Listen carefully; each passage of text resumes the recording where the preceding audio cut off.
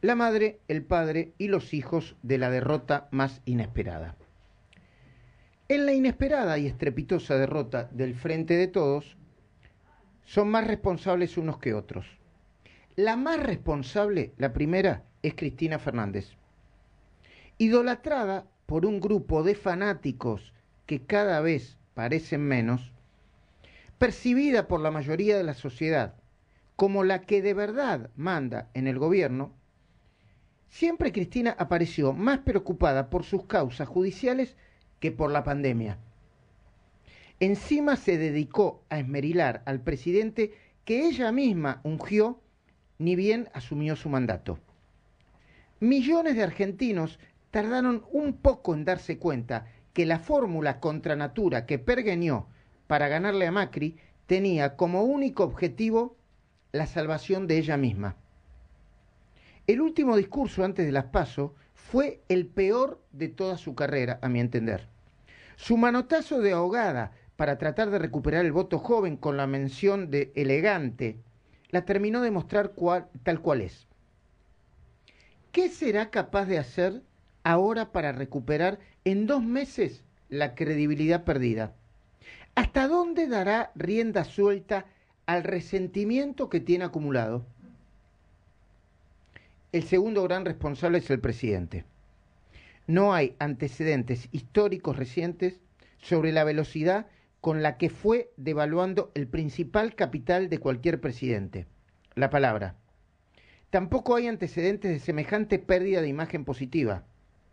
Pasó del 85% al 30% en menos de dos años.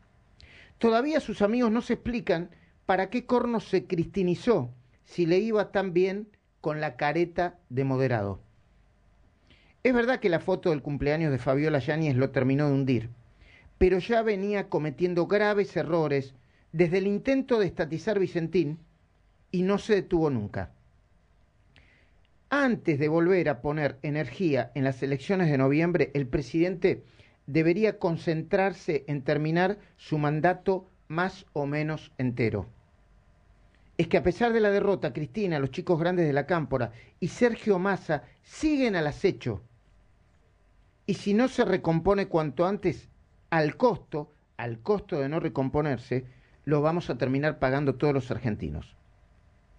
Massa, como la tercera pata de esta alianza forzada y antinatural, es otro de los grandes responsables. Quizás se haya empezado a deshilachar después de aliarse con los ñoquis de la cámpora, a los que amenazó con meter presos a cambio de una porción de poder. ¿Por qué los votantes no se lo facturaron antes? Porque en aquel momento estaban demasiado enojados con Mauricio Macri y lo usaron como un instrumento para evitar su reelección. El presidente de la Cámara de Diputados va a tener que pensar mucho sobre qué hacer de acá a noviembre y después también. Cualquier paso en falso, cualquier otro paso en falso, lo puede afectar todavía más. Y hay muchos que los están esperando o que lo están esperando para vengarse.